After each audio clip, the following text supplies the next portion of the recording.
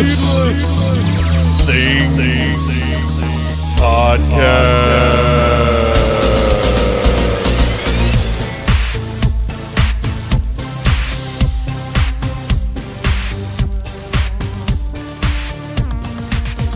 Hey, Phantomaniacs, welcome to the newest episode of the Needless Things Podcast, where we talk about toys, movies, music, and all manner of pop culture dorkery. I am your host, Dave, and tonight, this week, we are talking about toys. There's been a lot of toy news out there, and we were actually uh, this week going to be doing something else, but you're going to get that episode next week. Uh, and this week, we're just going to kind of look back at the last few weeks of toy news, uh, what's been going on, talk a little bit about collecting in general, and then get specifically into uh, how we prefer our toys displayed and why. And joining me for this episode, our head of research, Ryan Schweck.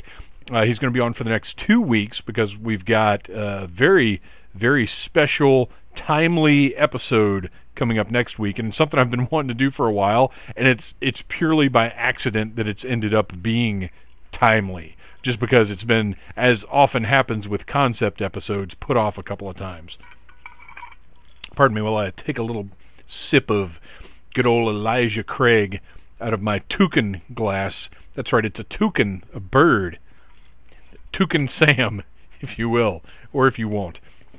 Uh, also, sometimes it's difficult for me to say Elijah Craig rather than Elijah Burke after being familiar with the wrestler for so many years and the bourbon for only one. Oh, I get yeah, yeah, about a year, a little over a year, I guess. Uh, and and good old Elijah Craig will be making a big return appearance on the show soon as well, because if you remember, around this time last year we had one of our biggest, craziest, loudest, drunkest episodes ever. It's one of my favorites. And we will be revisiting that concept again very, very soon, like within the next couple of weeks. So stay tuned for that. Okay. So before we get to my discussion with Ryan about toy stuff, there is some toy stuff that's happened since we recorded that discussion because it is a never ending deluge of toy news in the world. Because the toy manufacturers have realized that we're all stuck at home, and now is the time to just crank out stuff to pre order and make sure they get our hand, their hands on our money while we're stuck here before we can get back out into the world and start spending it on things like concerts and picnics and I don't know whatever else people do when they're not locked down due to a worldwide plague. Uh, all right. So one, one thing I got to bring up that actually might have even been announced. No, I guess it was the next day. Uh, Mattel Creations, who I am not a huge fan of because they do two kinds of things things that I have zero interest in, and things that I feel like I'm going to die if I don't get. And the things I have zero interest in, they produce tons of, and they're available for pre order for weeks on end. And the things I feel like I'm going to die if I don't get sell out in 12 and a half seconds. So, Super Shogun Skeletor is a concept that honestly is kind of obvious because we've seen this sort of cross pollination of different toy brands many times over the years, uh, even with the Super Shogun style uh, with Super 7 Star Wars Shoguns. Uh, but this is a Super Shogun Skeletor by Mattel from Mattel Creations, which means it's probably going to be like $400, $500. But it looks awesome. I got to give them credit for putting together a really, really cool looking concept. It does not look like some cobbled together cash grab. It actually looks very, very cool. Uh, it's, I believe, it's mounted on the. Oh gosh, okay. There's Mazinger Z. There's Great Mazinga. There's Tranzor Z, which I believe was the Americanized version of Mazinger Z, but I'm not positive.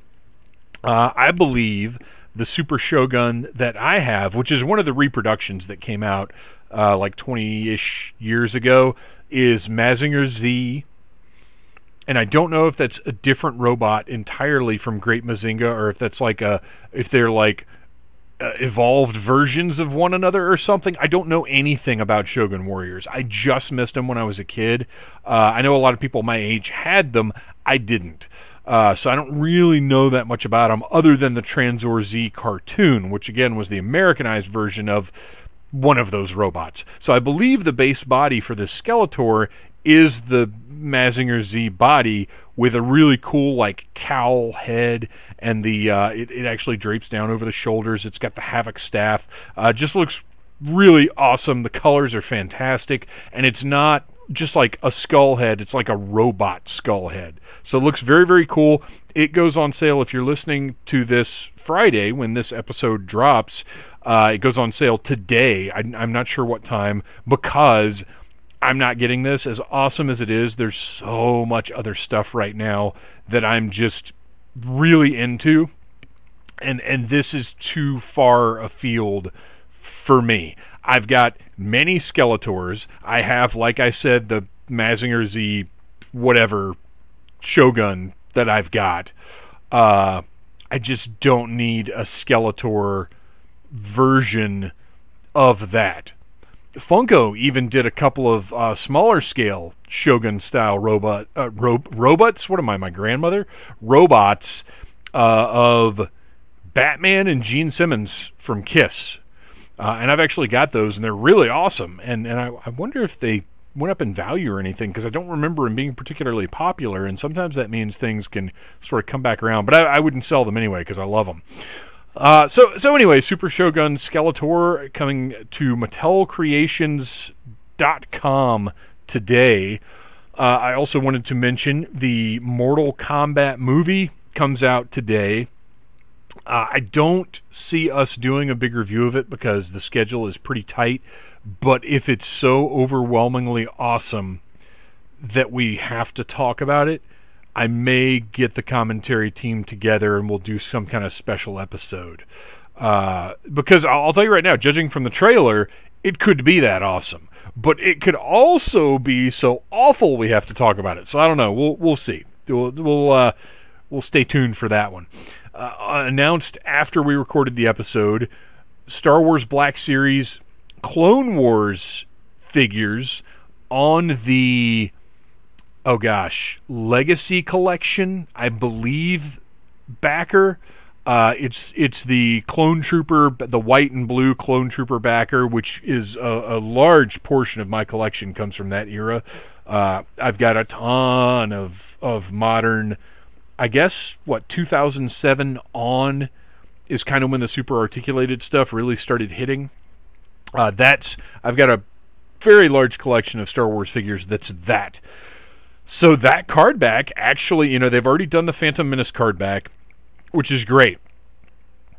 Uh, Ryan and I talk about that on the show, but this uh, this Clone Wars card back is really sentimental for me. But they're Black Series figures. Uh, it's Anakin and Obi Wan, uh, and as realistic style figures, but as they appeared on Clone Wars and then Captain Rex and an ARC Trooper, and they look phenomenal. They're they're some of the nicest looking Black Series figures I've seen. Uh, I'm I'm not getting them, but they just look awesome. Uh, and then finally, in what I think is the last piece of news, this just happened like two hours ago. Super Seven, in their ongoing drive to monopolize every cent of my money, teased an image of Samurai Leonardo from Teenage Mutant Ninja Turtles. Now, uh, I've talked about this. As a matter of fact, we we discussed this in the, a little bit in the show as well.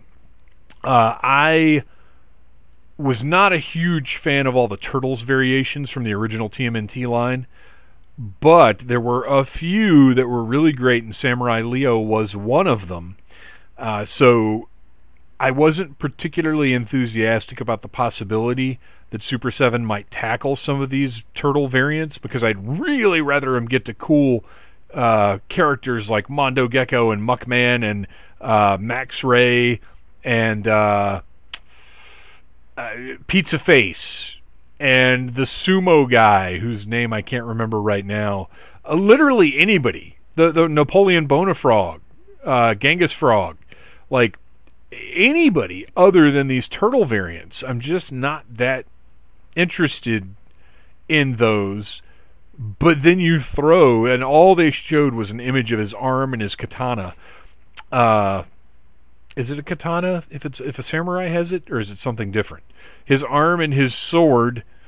Um, and it got me kind of hyped up, and then it got me thinking, well, hell, I, if they do that, I I wouldn't mind having a Samurai Leo in that uh, incredible Super Seven Ultimate style. But if they're going to do that, well, man, I really liked Astronaut Raph or Spacesuit Raph as I always called him. He, that was a great figure. And then there's, I think it was called Sewer Surfing Mikey in the wetsuit, like the body glove wetsuit. And then I cannot remember what Donatello went along with those. I want to say he was the Donatello in a trench coat, but that seems so boring compared to an astronaut, a samurai, uh, and a surfer. But I really, I think it was that trench coat Donatello uh, that went with that series because those were some of the first, if not the first, turtles in costumes that Playmates put out. Uh, so that's something I'm going to have to keep an eye on. I wouldn't mind it as much if it's like Samurai Leo and Outback Outback Jack. Was that his name? The kangaroo. Um, like, give me Samurai Leo and then like three other non-turtle characters, and I'm more okay with that. Uh, than if they're going to hit us with all four turtles in costumes, which I guess they probably won't do because they didn't do that with the other waves. Each wave had a turtle in it. So, uh, one way or the other, Super 7 has a big announcement coming very soon. Uh, speaking of big things coming soon, you're going to want to tune in to the May episode of Audible Interlude, a G.I. Joe podcast, because there's a lot of G.I. Joe news, rumor, and speculation to discuss. Uh, it's it's going to be another episode where a lot the the bulk of the episode could end up being just news. Uh, so check that out. Uh, Audible Audible Interlude, a GI Joe podcast, is available the first Friday of every month wherever you get your Needless Things podcasts. Uh, and then finally. Uh, last thing that I wanted to mention the Needless Things YouTube channel this week to well one review unboxing that I knew was going to be very special and I was excited about, and that is the new three horned Kings Boglins, uh, fresh off a Kickstarter, available to pre order now from most of your trusted toy retailers. Uh, and then on Monday, I reviewed from the Loyal Subjects, their best action figure series, Buffy the Vampire Slayer, and it's gotten a lot of hits in a very short amount of time. Very, very popular for whatever reason. I mean, obviously, Buffy is one of the greatest shows of all time, if not the greatest show of all time. But I kind of didn't realize this video because I'm my mind is boggled by the stats on the Needless Things YouTube channel some things that I think are going to be big hits are are 20 views. Some things that I don't really expect to get that much attention are over a thousand. So I I like I don't know. I have no idea the algorithms or how anything works there. Obviously, but uh, I just like reviewing toys. So that's what happens every Monday and Wednesday on the Needless Things YouTube channel. I open and review a toy, and man, did people love the Buffy reviews. So go check those out. Uh, please like, subscribe, share. Tell your friends about Needless Things, whether it's the podcast or the YouTube channel or both, or our upcoming appearances at, that's right, Dragon Con. Today I submitted my schedule of panels and they were approved so Dragon Con is currently, uh, you know, I'm sure with many caveats and stipulations and eventualities, but as of now, Dragon Con is moving ahead full steam, and we are planning uh, more more to come on that. I don't want to announce anything quite yet, But if you've been following Needless Things and the stuff that we do as a family at Dragon Con for any amount of time, you can probably guess some of the things that we're going to be doing. Uh, and this year is going to be just as awesome as any other year if we have anything to say about it. So there you go. Uh, you guys, it is time now to sit back, relax, crack open uh, your own toucan full of Elijah Craig, and enjoy some toy talk with me and Ryan Schweck.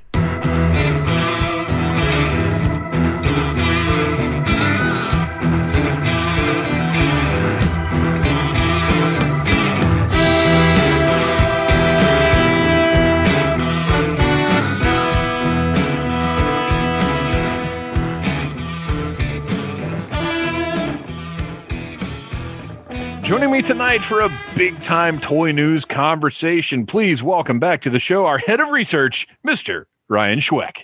Hey, I'm glad to be here tonight talking about something that probably takes up too much of my brain and too much of my bank account. Right, seriously, like I'll basically any any pop culture thing that happens now, I just look at it and I think, well, what are the toys going to look like? Yeah, it really is like movie trailers. Any of it is uh, they're going to make toys out of that, and uh, what I can and can't afford anymore. uh, yeah, seriously. Well, that's um, and that's part of what we'll talk about a little bit tonight. But mostly, there's been a lot of toy news in the past few weeks because it seems like a few companies kind of dropped their toy fair stuff. Uh, obviously, Hasbro had their Hasbro Pulse Fan Fest. Is that what it was called? The Fan Fest. yeah, we'll we'll talk about that. All sorts of stuff. Yeah. Uh, but then I also want to check in with Mezco and see where we're at with our 112 pre-orders. Oh God. Um, and j- just a few other things here and there, and we'll we'll just uh, see what we end up talking about. But the first thing I wanted to bring up, and part of what I've been working, I, I've done a ton of stuff today. I recorded a bunch of video reviews for the Needless Things YouTube channel. Uh, but I don't know if the listeners know this, but Boglins are back. If you remember the puppets from the 80s, the like uh, sort of ghoulish little full hand-sized puppets with the glow-in-the-dark eyes. Uh, they're back. They're available now. You can order them from Walmart. They're going to be at Big Bad Toy Store, Entertainment Earth, basically everywhere. Uh, I know Amok Time had their pre-order uh, link up way early, but they're mm-hmm. shipping now because I backed the Kickstarter for them, and my three, they're three three horned kings that are kind of the main ones that are out right now. Uh, those arrived last week, but I pre-ordered one of them for my son just for him to have one from Walmart and it came just a few days after my Kickstarter stuff arrived. So they're they're out there, they're on top of this and uh, they're awesome. They're great. The material is much more durable than the 80s ones were. Uh, did you ever have any of these? Oh yeah. Yeah, I had them. A lot of them when I was younger and I've gotten two of the new ones. So, and but you remember the old ones were like if you've got them now they're sticky. Well, you can you can wash them off. Yeah. Um, a little dish soap will clean them right up. As a matter of fact, I, I had to because I've got uh, Timothy Clark, one of the creators of the Boglins. Uh, we've known him on the show for years now, mm-hmm. and we got some from him before these mass-produced ones were coming out. And we just pulled them out, and they're all sticky. So we just little little dish soap. I, I recommend Dawn. We'll yeah. clean them up. But the original Boglins, they feel not stable.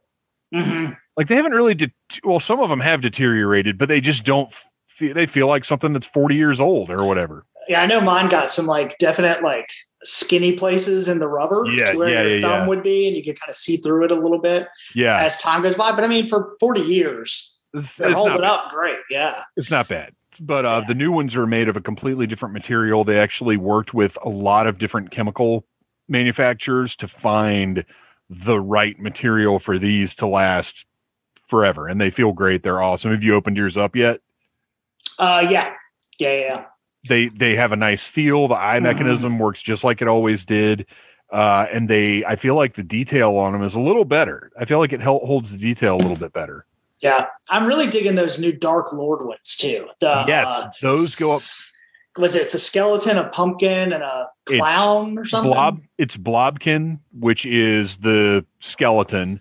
Mhm. Um, or I'm sorry, Blobkin is the jack o' lantern, Bones is the skeleton, and Crazy Clown is a completely new one. It's a it's a really creepy looking clown. They all glow in the dark, like the whole Boglin, not just the eyes. And they all go up for pre order on May 1st. Okay. And you know, uh, I know you mentioned uh, Tim Clark. I highly recommend following him on social media. I know he has like a big Facebook presence, but he does a lot of like where he shows them and kind of shows the process. And it's really cool to see a creator like that be so involved. Well, back when he was one of the first guests we ever had on the show, and back when he first came on, he said, like, I don't understand why anybody even wants, or I was surprised that anybody even wanted to talk to me. This is so weird for me. And now, you know, that was what, six years ago or something and now it's very common for toy creators mm-hmm. to be mm-hmm. more involved in promoting their products but but then it was a weird thing and i recommend everybody go back and listen to that episode because it's awesome uh, tim has been a, a, great friend to the show and always very very giving with his time for for our little podcast um so yeah the uh, on the needless things youtube channel this week the I, the boglins review went up wednesday uh, I reviewed. Have you seen any of these loyal subjects Bist action figures yet? I think I I want to say I've seen pictures of them, but I'm not real familiar with them. What are they? They're uh, you know, loyal subjects do those little vinyl figures that are like articulated. Some of them are blind box, some of them aren't. Mm-hmm. Uh, they've they're like kind of super deformed. Like if you go to Walmart or uh, I think they're in Target also, like in the collector's section. Oh yeah, yeah, yeah. I'm looking them up. I so uh-huh. they've been doing those for years, but now they're doing actual. Well, not not actual. They're doing more standard action figures in a. I don't know what five inch scale is. It's it's a weird smaller scale, yeah.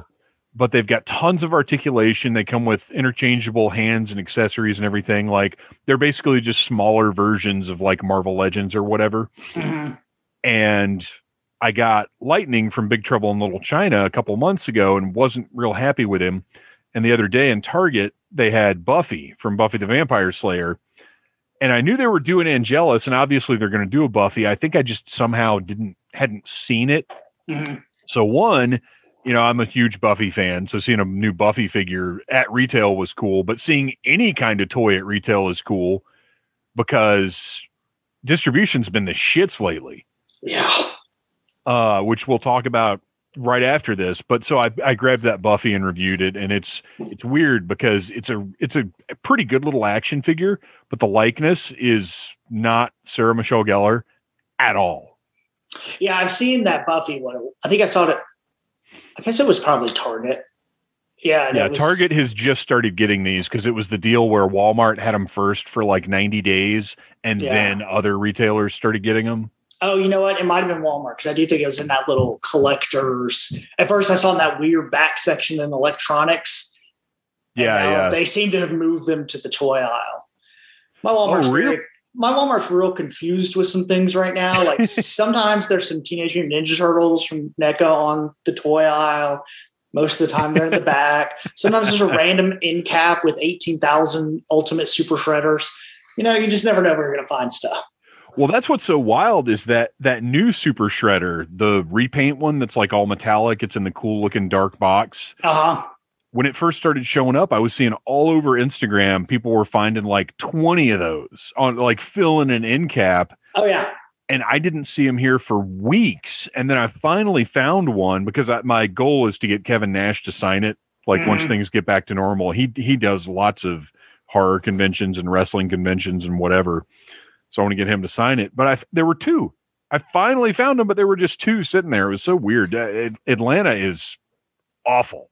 Uh, see, my Walmart has probably 30 of those and Gosh. probably the same number of the re releases of the sets of the four turtles.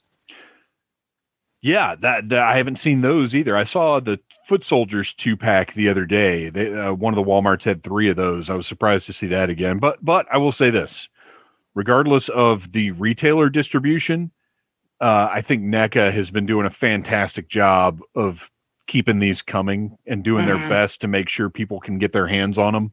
Yeah. Yeah. Especially the, you know, on their site, they release some of those harder to find animated ones. And they seem pretty committed to making sure everybody can get those, which is great. That's actually a good segue because that's one of the notes on my list. It was a little further down, but we can go ahead go ahead and hit it now. Uh, have you seen this NECA Ninja Turtle Fridays that they've been doing the last couple of weeks? No, I haven't watched any of them. Are they videos? Well, okay, so that's two different things. They're every Friday for the past two weeks now. Uh, NECA has put up reissue or pre-orders for reissues of some of the cartoon turtle sets and then a new figure. And the first week it was that pizza alien, like it's based oh. off the oh. xenomorphs from Alien, but it's some kind of pizza creature. Uh-huh. Um, they put that up two weeks ago, or I guess when this episode goes up, it'll be three weeks, but whatever. And then last week they put up a two pack of Mutagen Man and Ace Duck. I was gonna say, do they just release a new Mutagen Man every week? like Dude, this week, it's killing me because I got I got the Super Seven, the regular Mutagen Man, and then a few weeks ago they put up the Inter- Entertainment Earth exclusive glow in the dark Mutagen Man, which Mutagen Man was uh, he was one of my the original ones, one of my favorite action figures of all time. Oh yeah. And then when I saw Super Seven was doing Mutagen Man, that's what got me to collect Super Seven's Ninja Turtles line. Mm-hmm. And I collect glow. I mean, glow in the dark stuff is like my. I love it. So when that went up, Achilles like, heel of toy collecting. It is. It is. So I was like, damn it, I've got to. And the thing about Entertainment Earth, they're not Big Bad Toy Store. They don't have that sweet four dollar flat rate shipping. no, they do not. No, not at all. So this is like fifteen bucks added on to the price of this glow in the dark mutagen man. But I'm gonna do it because I got like I have learned at this point in my life that I cannot tolerate that feeling like such a chump when you miss something. Yeah, oh yeah. There, it, like, I have never regretted a purchase, but I have so many regrets about stuff I have not bought. Oh, that uh, I've got that Hasbro Sentinel slowly creeping in on my feelings on that. like, for first, I was like, yeah, I don't need that. I need to spend that money. And the more I see, I'm like, oh God, I'm going to regret this. None of us got that, did we? No. Like, none of our little chat group no, nobody got it. Gosh, um, and I, I don't look. It's gonna be awesome. It's amazing, but I just like a Sentinel is not something that I feel like I need to spend that much money to have. You know what I mean? Yeah. Well, and I, you know, I've got the Toy Biz Sentinel, and yeah, I do too. It's still great. Like I, you know, a lot of Toy Biz figures you kind of put out to pasture. But that one is still a solid, amazing figure. But it's, when they they started showing what that new Sentinel does and how the lights work and all that, yeah. oh god! Not that I ever. I mean, I have tons of light up toys that I push the button when I open it. I'm like, oh, that's cool. And then I put it on the shelf and never push the right, button. Right. But anyway, we'll we'll get to them down the line. Yeah, that's true. We've got plenty to talk about with so, Hasbro. Larry, what do you think about that Ace figure? The Ace I, Duck? Yeah. Dude, it's so creepy. He's it's, not supposed to have like Ryan Reynolds proportions with a duck head. It's I kept like, it, I mean, it stopped me. I'm scrolling through and it like stopped. I was like, what is that? Because I guess I only remember the old Ace Duck figure, which was kind of, it was normal Ninja Turtle proportions and had the bomber jacket, right? Well, and I think that's what the issue is, is humans in the old Ninja Turtles line still had those squatty proportions. Like if you mm-hmm. think about the mm-hmm. Casey Jones figure, like he, he didn't have human proportions. He looked he had those playmates proportions. He wasn't mm-hmm. he, he it wasn't like it was one of the Star Trek figures. You know what I mean? Right. But this Ace Duck is they they he's got like long it looks I don't it's weird, man. But one thing that bothered me is in the in the actual pre-order listing, it didn't list his wings. And that was like one of the big things about the original figure is he had those wings that plugged into his back and looked awesome. But then NECA put up a correction on Instagram that he does come with wings. Yeah, I actually just pulled up the picture of it and I saw the wings. I was like, well, I don't remember seeing those previously. Okay, that yeah. makes sense. Yeah, they fixed that. And then the, what's so funny though is the Mutagen Man is like tiny in comparison, but these are the cartoon versions, and I think I remember on the cartoon, Mutagen Man was like small. Mm-hmm. So I, this, as much as I love Mutagen Man, uh, this was a pass for me because that Ace Duck, and I love Ace Duck too. That original Ace Duck figure is awesome. But here's the thing: I'm collecting the Super Seven turtles, and maybe they get to Ace Duck. You know, I'm maybe, sure will. Yeah, maybe they get to Ray Fillet, which was another one of my favorites. Oh yeah. Uh, so I, I'm I'm I love that they're doing this, and I love that, like we said, NECA cares about making sure people get these. But this set was was not for me. The only um the only one of these animated figures I've bought. No, I take it back. I bought two. I bought uh Metalhead mm-hmm. because he looked so awesome, and I think he was like twenty five bucks. Like yeah, he wasn't, wasn't, much. Yeah, the price was not bad, and he's huge. So I went ahead and got him, even though Super Seven is doing one. Uh, and then I bought the Krang Android body because mm-hmm. which I is another one that look great. Yeah, yeah. I never had that when I was a kid, and I always wanted it so bad. And then when I saw that it came with the towels, mm-hmm. I was like, I I got to get this. And and it wasn't. I don't think it. I think it was like thirty bucks. I don't think it was crazy. Yeah, it was definitely cheaper than I thought it was going to be. So yeah, I got those two just because I was like, man, I I want to have those, but I, I, don't see myself getting a whole lot of it because I'm not I'm not a fan of the Turtles cartoon really. Like I appreciate its place in history and I love that it exists, but just personally, uh, I don't love it. The, the original cartoon. Yeah, I mean, you know, at the time it was one of my big big things I watched. Um, but I yeah, I don't feel a connection to it as much anymore. And really the turtles in general, honestly, for me. Like I love the designs. Um, but it's just not something I've gotten back into getting the figures, which is surprising, man, because for a little while I had all of them when I was a kid.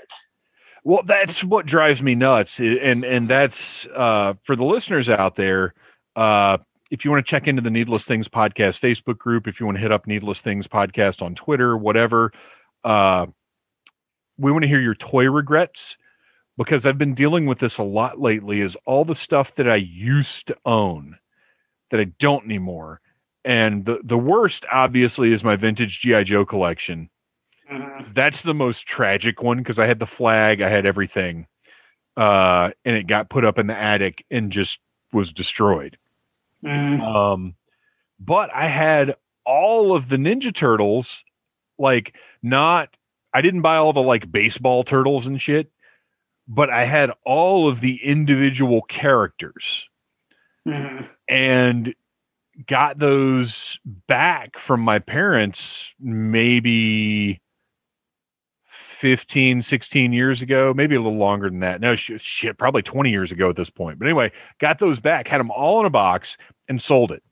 Oh so stupid so stupid but uh, yeah stuff like that so listeners we want to hear your toy regrets what have you what do you regret getting rid of? What do you regret not buying? I mentioned that a little while ago too. Is there something that you had the opportunity to grab that you missed out on, and now the cost is astronomical? Yeah. Uh, but yeah, the, I mean, Ninja Turtles has have just been with me because I got I got into the figures before the cart because the figures came out before the cartoon. Mm-hmm. I saw the figures. I was like, this is incredible. And then I ended up getting the comics from the comic shop. So like the cartoon was almost like a tertiary thing to me. Like I watched it, don't get me wrong, but the comics and the toys were my thing. And I think that's why it stuck with me is that's where my attachment was because the cartoon for little kids is great, but it to me, in my opinion, it doesn't hold up like G.I. Joe and Transformers and some of the other cartoons because the humor is so silly. Mm-hmm. You can't, because look, don't get me wrong. Transformers and GI Joe are ridiculous, but they don't have the jokey joke, silly humor the way that Turtles did. Yeah, well, and there's a huge difference, you know, looking at the comics. Like the GI Joe comics and the cartoon, while they're different, there's still a similar feeling, you know, somewhat. Yeah, yeah, yeah. Um, but yeah, Turtles is so vastly different. Yeah, it might as well be two different properties which is what's cool about the turtles is it can be a lot of different things it can be silly and fun but it can also be daredevil right which i'm really you know supposedly when they make some this new movie or whatever it's going to be much more comics yeah. accurate. They're going back to that again. So that would be kind of cool to see. And I don't know. I would be down with uh you know, they're doing all kinds of cra- between the Halloween movies and and uh, uh they're doing all kinds of wild things now where they do sequels that ignore mm-hmm. other sequels. If they wanted to do a follow up to the 1990 Ninja Turtles movie, I think that would be the coolest thing in the world. Okay, so which sequel would you ignore? Would you let Secret of the Ooze? I would I would eject count? that. I would eject right. that because if you watch those back to back, Secret of the Ooze is so different in tone. Oh yeah. Um that and, and look, it's fun, but I would do a follow up to the 1990 movie. Uh, you know, I don't know if you try and do something. That, well, you know, I would do I would do a, a 30 years later because why not? Dead the Splinter and uh, yeah, well, I don't know. That might be a little heavy because I still want it to be fun. I don't know. There's a, there's a lot of options, but I, I would be much more interested in, uh, you know, we we've talked about it tons and tons and tons on the show, but give me Jim Henson's Creature Shop turtles over CGI turtles any day of the week, and in, and in this day and age, I think a combination of those two things is the way to go. Yeah. Well, and shoot, like turtles have a lifespan of a hundred something years or something. Sure. Yeah, it's they wouldn't really age that much in 30 years. They're early college Ninja Turtles now. It's not like they'd even be like old man turtles. graduate school turtles. God, I bet Donatello would be a terrible graduate school turtle. Oh my gosh, he'd be pretentious so and yeah. Um. So, yeah, NECA has been doing really cool stuff with their Turtle Fridays, but then you brought up uh, these videos that they've been putting up with the process of mm-hmm. the April O'Neil figure, which is actually hosted uh, by Judith Hoag, the original April, live action April O'Neil. She's working with NECA not only on the figure, but to produce these behind the scenes looks at how this figure is being created.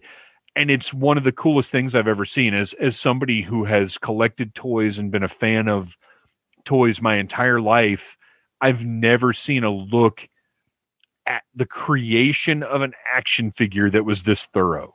Mm-hmm.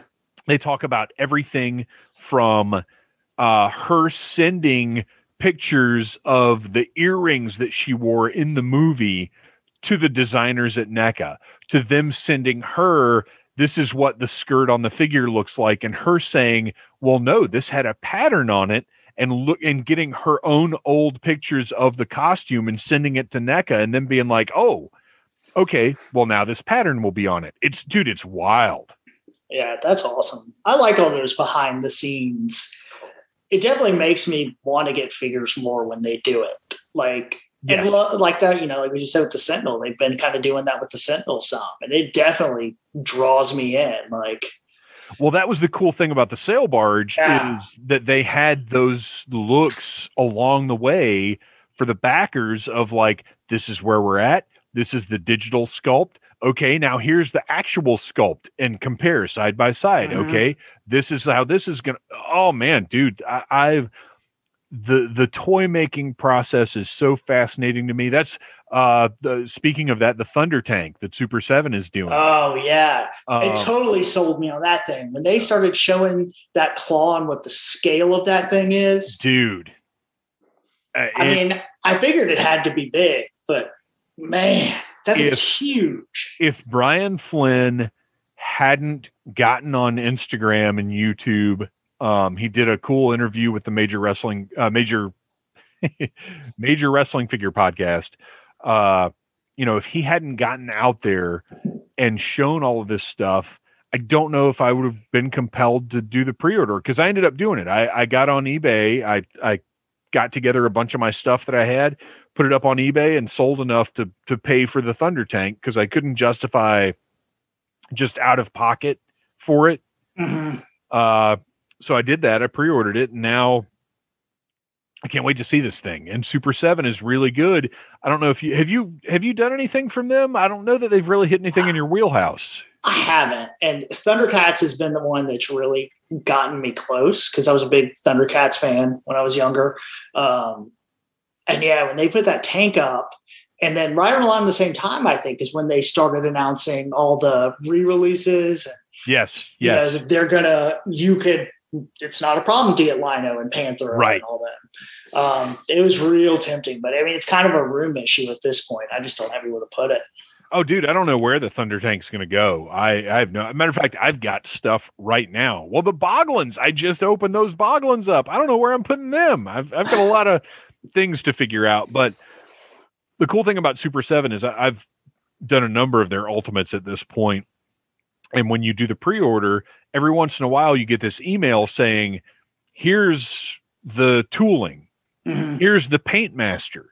Here's the product we got back and we're going to make these changes like you get these updates all along the way and i i love you know people complain about how long the the period of time between when you place your pre-order and when you get the product but the thing is is the only difference between super 7 and hasbro is they're telling you as soon as the product is in development whereas hasbro mm. gets the product developed and then 6 months out says hey give us your pre-order right and you don't get all the updates that Super 7 gives you. I, I love Super 7 system and I honestly wish other places would adopt it because I'm sick of pre-ordering from Walmart and having it canceled. Mm-hmm. I'm sick of these special items like with the GI Joe Cobra Island that are Target exclusive that you're just oh. never going to see. Uh, I, am tired of that stuff, man. I'm too old for this shit. I'm like Danny Glover. I'm the Danny Glover of toy collecting. is it your last day on the job? It is my last fucking day on the job, except it never is. Also, like Danny Glover. Yeah, right. Exactly. uh, but so so to wrap up our NECA section, kudos to NECA. Yeah. Um, another real quick, another thing to mention is that they they teased a Friday the Thirteenth Part Seven Jason Voorhees months and months and months ago, and then finally a few weeks ago revealed it. It went up for pre-order. That should be shipping any day now. Mm-hmm. Uh, so they have that license back. It's active again. The legal troubles are settled, and hopefully the Nightmare on Elm Street stuff will get settled as well, uh, and we'll start seeing regular releases of Freddy and Jason again.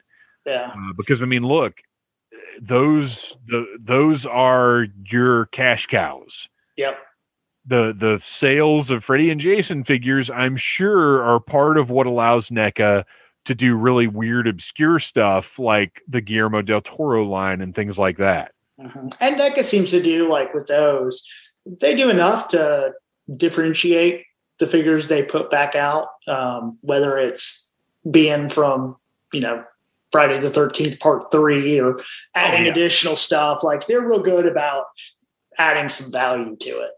Yeah, yeah, for sure. Like each, I I've got three. I'm looking at them right now. I've got three Jason Voorhees figures that, to the naked eye, without their accessories, would be almost identical. But they're from three different movies. They have like each of them has like three different heads, tons of different weapons, different like they're completely different figures. But at the same time, NECA has cleverly used the same base figure like three times, probably mm-hmm. more because I haven't bought all of them. Uh, but I, I think that's great. I love that kind of stuff. Like if you can, if you can fool me into buying the same thing again, kind of like Hasbro did with the carbonized series and the credit series, uh-huh. you can fool me into buying the same thing again, good for you. And if that money that you make from doing that makes you buy makes you able to create some other weird thing that you wouldn't otherwise have been able to make, do it. Go for it. Mm-hmm. Uh, before we get off NECA, did you see their announcement today? Uh, what was it? Maybe the not. Universal Monsters oh, are back. Yes, not only are the Universal Monsters back, but they have the likeness rights for Bela Lugosi. Yep. Which not everybody who does the Universal Monsters has that likeness. Uh, but the Lugosi uh, what is the wh- wh- whoever controls his business, yeah, his estate, his state. Thank you, the Lugosi estate signed off with NECA, so we're getting uh, all of the likenesses. We're getting uh, Boris Karloff, mm-hmm. Lon Chaney Jr., Bela Lugosi, all of the likenesses are going to be on. So they they announced today what well we already knew about Frankenstein. Yeah. But they officially announced today the Mummy, the Wolfman, and Dracula. The the core four. Right. Um. Obviously, the one I'm waiting for is the creature. Yeah, you figured that one's going to be. It's going to happen, and they don't have yeah. any likeness issues with that. They've got yeah. the Universal Monsters license, so basically that's a done deal. But they also announced today uh, because all they had shown when they first teased Frankenstein was the black and white version. Mm-hmm. Uh, or if you're if you're an old school Diamond Select collector, the silver screen edition. Ah, I forgot about that. oh, dude, I've still got that's that's what's troubling me with these NECA releases. Is right now I'm looking across the room at my Diamond Select Universal Monsters that are phenomenal figures. Uh huh. But these NECA figures, the deco is going to be better, the articulation is going to be better they're going to be i mean they're going to be modern figures. The sideshow ones that i'm looking at right now are from you know 2000 they're mm-hmm. 20 years old if not older. Uh these I, man and that's what's killing me is what am i going to do? I've already got fantastic figures of frankenstein the bride the creature everybody else. But this this is what happens you know diamond select had the universal monsters license for a little while. Um playmates did a line did McFarlane have it, or was he just doing? No, McFarlane just had McFarlane monsters, and those were yeah. great. Yeah, but they were not Universal monsters. Uh, lots, you know, every few years, every decade, really, somebody new gets the license and does these sort of six-ish, seven-inch scale figures uh, and I end up buying at least the creature all over again. I've I've got a freaking they just did a Mego creature that I had to get because it looks great. Mm-hmm. Um, but it's a different style. The this one with NECA and Diamond Select, this is going to be a matter of do I replace these figures that have been in my collection for 20 plus years now? Because uh, now that I'm thinking about it, I think those Diamond Selects might be like 97 to 99 something yeah like i feel like they were yeah that 90 late 90s right when everybody was starting to kind of copy what mcfarlane toys was doing. So so yeah i'm very excited about these but the big announcement was that yes they're doing a black and white version but a color version will follow. Mm-hmm. which is what i was waiting for because i look i love that they do the black and white stuff but that's i don't want that as a toy. Yeah I want I want a color version. So and and since they're doing that, I mean, you know, I'm going to get it. I can't help myself. Absolutely. Uh, so that I think that kind of wraps NECA up. Um, let's let's go ahead and hit Hasbro Pulse. Are you ready? Are you ready? Ooh, lordy. Are you ready to just to cover the incredible magic of Hasbro Pulse Fan Fest? Okay, or the subtitle Bamboozle Ryan updating his premium membership. Oh, dude, me too. Me too. Uh, and they, you know, I, I, think they very purposely canceled all our free premium memberships. You know, people don't know, like, it, it seems like, you know, I know you did too, got that premium membership real early. And yeah.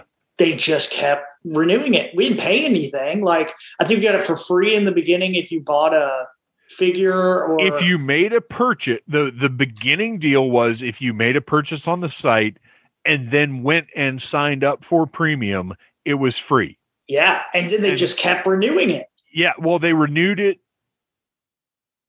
after 16 months i think or i think after a year they were like we're extending it six more months and mm-hmm. then at the mm-hmm. six months they were like we're extending it another year but now this time they were like your shit's your your time's run out buddy yeah.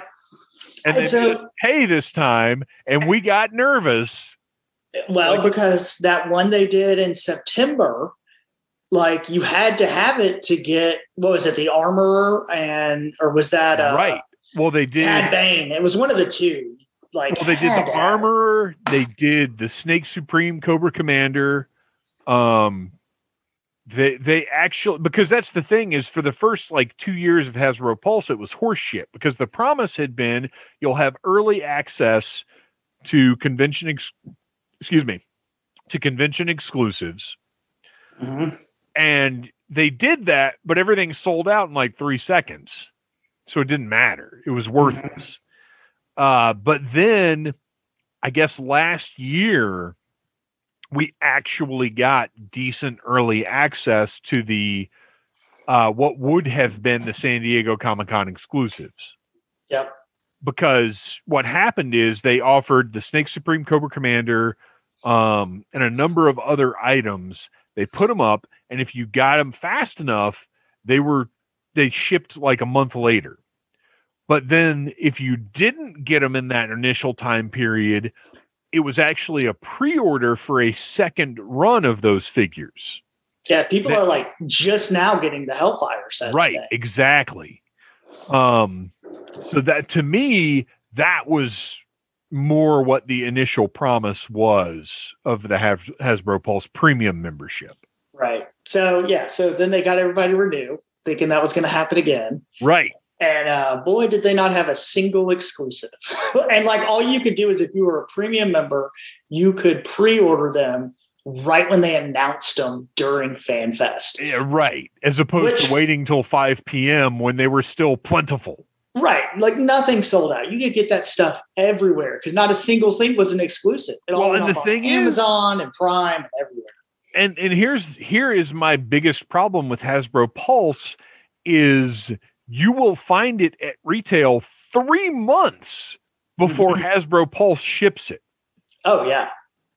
Well, uh, so what I'm interested in, one announcement they have made recently about the premium membership, and this might end up being worth it, is there's going to be that store exclusive section if you're a right. premium member. Right. And so, you know, everybody knows about the fiasco that is G.I. Joe at Target. Right and maybe that's going to help with that. I mean, really, besides GI Joe, you know, the store exclusives from Hasbro haven't been that hard. The Walmart wave for Black Series was. I mean, I found them. I think a lot of people ended up finding well, them in the end. But, but here's the thing: is I I found them once. That's true. But that was it. Um, and with the apparently, and I don't follow Transformers so I don't know exactly where all that is. Uh, I bought the. Have you seen those red series that like they don't transform? They're yeah. basically Marvel Legends Transformers. Mm-hmm. I bought Optimus and Megatron because I'm a sucker. I can't help myself, uh, and they're awesome. Those are Walmart exclusive, but they're up on Hasbro Pulse in that retailer partnership section. Mm-hmm and apparently, uh, and that's most of what's up there now is Transformers exclusives. But the Walmart exclusive Hiss Tank went up there, which I've seen that thing everywhere. Oh, dude, yeah, every Walmart I go to has like twenty of them, yeah. which is great because I tell I'll tell you right now, ten years from now, I'm going to be kicking myself that I didn't buy like fifty of those Hiss Tanks. Yeah. Uh, for the listeners, if you're any kind of speculator at all, go buy those Hiss Tanks. Uh, so my yeah my hope is that the cobra island figures will show up there because pure luck that i was able to pre-order a firefly and a buddy of mine found a viper and sent it to me i've never seen those in stores i saw the fire well i got you the firefly um, but that might have been the regular one i don't think that was cobra island no there's only there's beachhead only the i got you beachhead Oh yeah, you got me. That's right. Well, that was the first wave. Was yeah. Beachhead, Baroness, and the Cobra. Uh, okay, Beachhead Baroness, the Cobra Infantry, and Roadblock, yeah. which I saw Roadblock several yeah. times. No yeah. problem there. Baroness, I only saw once the time I bought it, and me and a friend of the show, Carlos, had to wait in a Target for an hour and a half for them to check the truck. And they brought us, they had two of Baroness. We each got one, and that was the end of it. I've never seen one other than that. Uh, the Cobra, the Cobra Troopers, uh, me and Phantom Junior went out the day that they were supposed to be released, which, by the way, means nothing to Target. And for some reason, Target seems to do these things on Sunday. I've yeah, ended up in front of Target at like six thirty in the morning on a Sunday. Well, that's when I got um, those last Star Wars releases when they did all the theme park stuff. Yep. I just happened to go out on that Sunday because I'm I'm not collecting most of that. but I went out on that Sunday and got all of the Astromech sets that they put out. Mm-hmm. Um, but anyway, we went out and we managed to get four of the Cobra Troopers. I never saw them again. Never saw Beachhead. The one you sent me is the only one I've ever seen. Uh, it's it's it's ridiculous. It's absolutely ridiculous. So my hope is that that Hasbro Pulse Premium membership will, you know, maybe they'll do second runs of these, and we'll be able to get our hands on this stuff. Yeah, I, hopefully that'll be worth it. They're gonna they're gonna have to do something to give me that fifty bucks back that uh, yeah, I paid seriously. for the membership because it's certainly you know free shipping. You know they tout oh you get free shipping, but if you buy more than was it fifty bucks, I think you get free shipping on Pulse anyway. So, well, and and the free shipping thing, like yeah, that's awesome, except for the fact that I cancel every pre-order I make because I find it at retail before you guys ever even get it. Yeah, I do that a lot. I pre-order yeah. on Pulse and then I cancel. Yeah, well, and that's that's another thing I wanted to address actually, um, because obviously over the past year, pre-orders for toys and action figures have become a huge thing. Uh, we go and my my personal preference is Amazon. If I can pre-order from Amazon, the price is going to be right. They're probably going to get it as early as anybody else, and I I have never had Amazon cancel a pre-order on me. Walmart and Target are both super sketchy as to when they're going to get it, if they're going to get it, if they're going to cancel it. Uh, I don't like pre-ordering from either of them.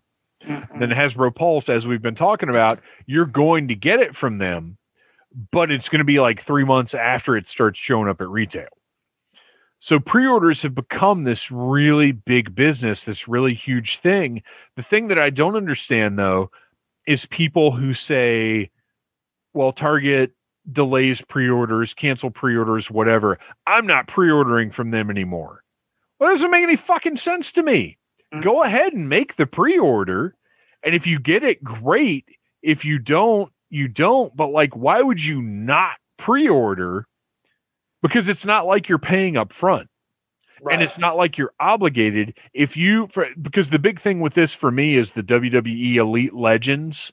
Mm-hmm. Um, they've they're Target exclusive, and the pre-orders will go up. And sometimes you find them in Target before your pre-order ship. Okay, fucking cancel your pre-order. Right. Like it's not a big deal. They're not charging you upfront for this stuff, but they are giving you the opportunity to say, if I don't find it at retail before it ships, then I don't have to worry about getting it because they're going to send it to me. Like I don't I don't understand that mentality of I'm not going to make pre-orders from them. Same thing with Walmart.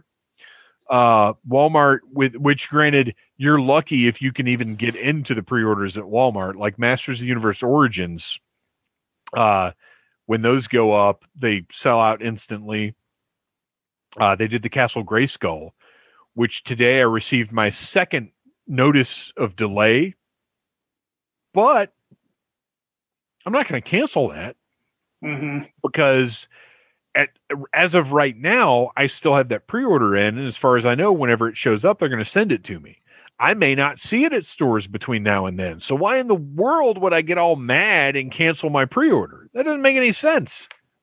Yeah, I tell you a secret I've been doing for at least uh, Marvel Legends and Black Series is pre-ordering in person in a GameStop store.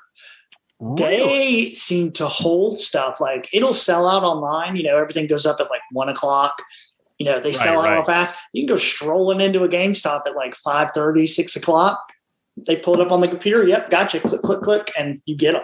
Wow. Now, they tend to, for some stuff, be kind of like Pulse where they're a little late. Like I'm still waiting for my Bo Katan and that Wave of Black series. Right. But they always get them. But you're going to get it. Yeah, you always get it that and you know what that's interesting because it kind of relates to what's going on with Target and Walmart where uh the Masters Universe Origins Castle Grayskull it's mm-hmm. showing up in stores now. People are finding it. But the online pre-orders are delayed. And that's because they have different distribution systems for the online and for the retail stores.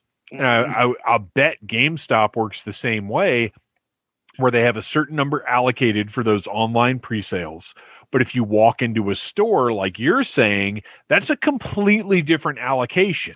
Yep. Very interesting. You just got to watch because we had a new employee at our GameStop, and I uh, walked in to get uh, new Commander Cody had been, you know, he got re-released that archive line. Yeah, yeah. And so it had been a while, and I knew GameStops were getting them. I was like, man, this is just too long. I should have had this by now. And so luckily, I walk into GameStop and it was on the shelf, and nice. that Cody was hard to get. Yeah. And so like I picked it up and I was like, uh, and I went to the guy checking out, and I kind of know the guy. He looks at it and he was like, "Weren't you waiting for this?" And I said, yeah. And he said, hold on a minute. And he reads it and goes, oh, this is yours. And so apparently they had a new employee that oh. didn't know you're supposed to scan for pre-orders. Like, so I got super lucky on that Commander Cody. Oh, like, wow. Yeah. And that's the human element is mm-hmm. always something you have to consider. Yeah, but they're pretty good. They're pretty good. Um, so yeah, Hasbro Fan Fest. So I, let's well, okay. First, I've got to say this: we will cover the GI Joe reveals uh, more in depth on Audible Interlude, uh-huh. uh, the the May episode. But since we don't curse on Audible Interlude, we try and make it a more family friendly show. I will go ahead and say, what the fuck? I, Just the movie figures, no new retro, no new well i mean the movie figures are classified but like no new regular classified series that's it? That's all you're giving us is those five movie classified figures?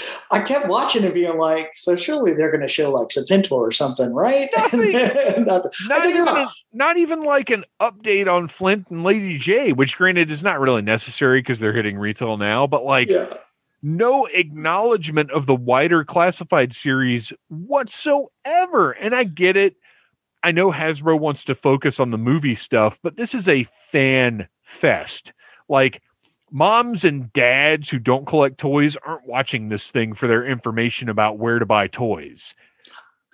I liked when they had the actor that plays Snake Eyes, who, don't get me wrong, he did a decent job. Great. He, he seems so very excited. excited. I do feel like it went on for like an hour and a half. I was like, he's you know still going.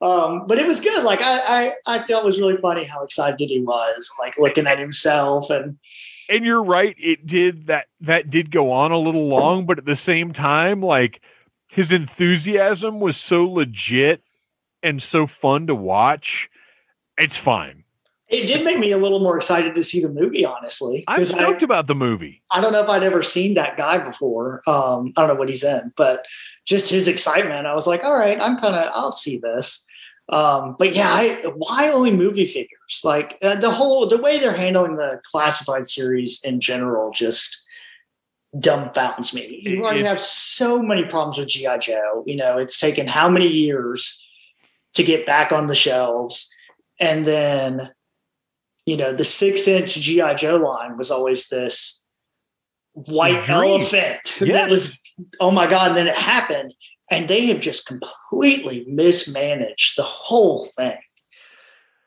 I I think that they're course correcting a little bit because we we have talked about this for years and and you had said if they do six inch joes in the traditional real american hero style that you're you're going to be sorely tempted yeah oh, yeah but that's not what this is but if you look at the most recent ones, I already mentioned Flint and Lady J, that are much closer to their original versions yeah. than what we've seen so far. Uh, like that piece of garbage Lady J retro figure. well, no. Okay. So I thought the same thing. But shockingly, I actually managed to find one. One. One. I've never seen Roadblock. I've never seen Destro. Um, those retro figures aren't real. The first wave, like I saw dozens of Snake Eyes forever. Mm-hmm. Uh, I was able to buy Snake Eyes and Storm Shadow at retail, but the second and third waves, I've I've not seen except for that one Lady J, and I grabbed it just because I was excited to actually see a new GI Joe figure. Uh, and she's actually pretty good. And she, I, uh, so I saw her and was it Duke? Yeah, Screaming Duke, the worst GI Joe figure ever made. So I saw those two at a Walmart, and they caught my eye because I was like, "Huh, that's not Storm Shadow." and so I called Hoffman, and I was like, "So, like, do you want this?" And he was like, "Yes, buy it." And I remember looking at it and going, "Are you sure you want these?" He bought the Duke. Yeah, he wanted. You know, oh gosh, it's so bad. oh. Yeah. I because I saw they did have because uh, it's Lady J, Duke, and Cobra Commander, and they did have all three of them at the Walmart that I went to. They had one Lady J, and they had like six Dukes and six Cobra Commanders. Mm-hmm. Uh, I don't need that Cobra Commander because I've got like a dozen 25th anniversary style Cobra Commanders. Uh, and the Duke is just the worst. It's like they took all of the worst parts of every Duke that's ever been made and put them together in one one like ultra mega shit Duke. um, but but anyway, so that's now that I've gotten all of that off my chest, we can have a rational conversation about this on Audible Interlude in May. Uh, oh. But let's move on to Marvel Legends. Oh Jesus! So, I I'm still collecting Marvel Legends. I'm very much cherry picking. Uh, mm-hmm unless it's MCU, where I buy pretty much everything that's MCU. Uh, but as far as the comic stuff, I definitely am very picky about what I get. And I didn't see anything that I wanted. So here's what I think has happened with Marvel Legends. Um, I think Hasbro has been kind of screwed by the MCU being so delayed, and it's messed up all the waves and how they're releasing stuff. Okay. Because so, you know, we got the Bring on the Bad Guys wave uh, was the last full wave we knew before FanFest. Um, and then there's this Eternals wave, which has been leaked for months. Like everybody has seen it. There's have we seen images or just the lineup? oh, we've seen images. Oh, like, see, I haven't, I haven't even seen the images, but they, partially because I don't care that much. They are in production. I mean, people have found them in Hong Kong. Somebody found them in a Walgreens in America. um, they they look like garbage, but oh no, we know that wave is already made, and then you know the Black Widow wave got released. I don't know a year before the movie, I guess. Right, basically right. at this point, and then the Shang-Chi wave, this is nuts. The Shang-Chi wave gets leaked about two weeks ago. Um, and then I sure as hell saw it in Target today. Well, the, yeah, they're showing up now. I saw it. Like it was there. It was sitting on the shelf. They're street dated for April 25th. Oh, but wow. People were finding them before the trailer even came out. And that wave has not been announced by Hasbro. So, because I don't think they can. Right. They didn't even announce announce it on this, did they? Yeah. And so now you've got the Shang-Chi wave that's out, which makes me really mad because it is a full wave of basically movie figures right. with a Hyde build a figure, a comic Hyde build a figure. Yeah, that's bizarre. Oh, it's terrible because I want that stupid Hyde. And don't get wrong, the figures themselves, they did look really good. Well, you you get well, we'll do one of the other things because I want the figures I don't care about the Hyde, so we'll we'll work that out. Okay, yeah, I'll definitely do that. So they, you know, I'll, I'll get I'll get the figures and uh, I'll send you the Hyde. Uh, so what that leaves Marvel Legends at, they have two fully produced ways that they can't show. Right. And so on Hasbro Fan Fest, they showed this Iron Man wave that look, I you know, Ursa Major it, it's a bear head on the Sasquatch body. Now it's Ursa Major. Is it though? I don't. I don't feel like that's the Sasquatch body. Is it? Yeah, it is. It looked um, like it um, was thicker to me. They put additional pieces on the shoulders. Oh, okay. Um, to where the head connects. But yeah, I mean it's it's that Sasquatch body. Okay, and okay. there's one or two. You know, I pre-ordered the Ultron because that Ultron looks amazing. Yeah, that Ultron does look good, especially with all the Kirby crackle in his mouth. Yeah. And then I ordered uh what's the other? Oh, Riri. I ordered uh, Riri in her Ironheart costume.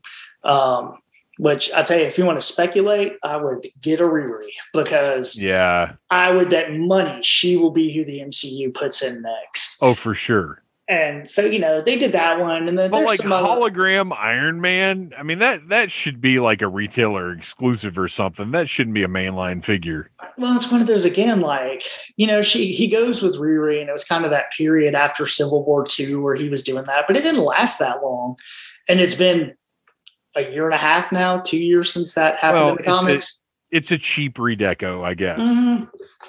Yeah, and yeah, Dark Star's cool. Um, I'll probably end up buying Dark Star if I see her. And people have wanted that mod, that modular Iron Man. A lot of people wanted that. Well, here's the thing, though: that modular Iron Man, I 100% want that, but I want it to be a deluxe figure right. with all of the modular parts. Yeah. Like I don't want just this Iron Man. Like that almost seems lame to me. Yeah. Then who's the other? Oh, Stealth Iron Man. He's the other one in that way. Which is cool. And he yeah. comes with and he comes with the Tony head. Yeah. Which is cool. Uh, what they need to do is just put out a pack of suit bodies. I'm sick of all these heads that I need another suit body for. Which who would have thought, you know, after DC Universe would want a suit body ever? But you're yeah. right I need a I suit actually, body. I actually, speaking of suit bodies, I actually just bought um the WWE Legends Ultimate Warrior figure because mm-hmm. it's from his Hall of Fame speech and it's Warrior's head, but he's wearing a suit. And I bought that to put a Ric Flair head on it. Mm-hmm. So it's a it's like an 80s NWA Ric Flair. Nice suit bodies are not to be underestimated. Is They're what I'm not. saying here. What was there? Oh, they teased the HasLab. The next HasLab is Marvel Legends again, which is either Galactus or the Fantasticar. If I it's just, Galactus, I'm probably not interested, but if it's the Fantasticar, I'm a little tempted. Yeah, that's kind of how I am. Like, I mean, I'm sure it's going to be Galactus. It and it honestly, it should be Galactus. Yeah, and you know, there's all those rumors that the next retro wave after kind of X Men and Spider Man is going to be the Fantastic Four. Well, they already put out that Doom on retro packaging, right? With with the old school graphic of Fantastic Four on it. So I mean, they have to do Fantastic Four, right? Because they need to re-release Dragon Man. Dragon Man now is probably up there as like the most expensive. Yeah, yeah. Toy Biz, um, and I'm sure they'll do Mole Man. Um, yeah, they got my gosh, they've got to do a Mole Man. What if what if the HasLab is Fin Fang Foom? Hey, that would be another one they may want to think about. That Fin Fang Foom goes for a ton of money. Even and, the and is it that great? Oh, I love it. Oh, it, like, it, still holds up. Oh yeah, it's great. okay. Now it doesn't have the purple shorts, which I hate. I wish it did put the shorts on the giant. What if HasLab? What if theirs had an option for purple shorts? Ooh, that would be very tempting to get another Fin Fang Foom. Ooh uh, man! But I tell you, that knockoff Fin Fang Foom, there's one, you know, China sells the, oh, yeah, yeah. the knockoffs. Even the knockoff Fin Fang Foom goes for like 200 plus dollars. Oh my gosh. it's nuts. So, yeah, I mean, Marvel Legends just, it's in a weird place right now. And I yeah. don't know. I think until the MCU gets back on track. Oh, and that's the other thing they're being real weird about is this the MCU, the show wave so they keep like yeah. Why? How in the world did they not announce that? Because even I and I, I don't follow Marvel Legends very closely, but even I am aware of this this uh, Disney Plus wave. So what it looks like and what probably is happening, you know, they've announced Scarlet Witch, Vision. Well, they Baron Zemo. They haven't even announced Scarlet Witch yet. Oh, that's right. She's just in a weird picture. Right they announced Vision and Zemo, and that's it. So someone got a hold of one of them in package.